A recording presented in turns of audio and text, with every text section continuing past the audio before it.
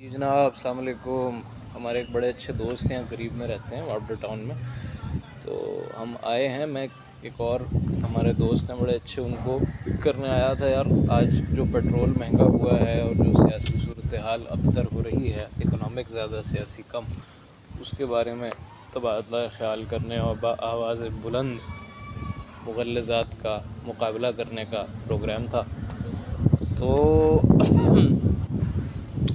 मैं इंतज़ार कर रहा हूँ आता है बाहर तो बाकी हमारे जो बड़े अच्छे दोस्त हैं या करीब में रहते हैं, देखते हैं, उनको भी शायद पिक कर लें। शायद जो है वो नेक्स्ट टाइम कर लें। तो भाई यही हम लोगों का कैथारसिस है।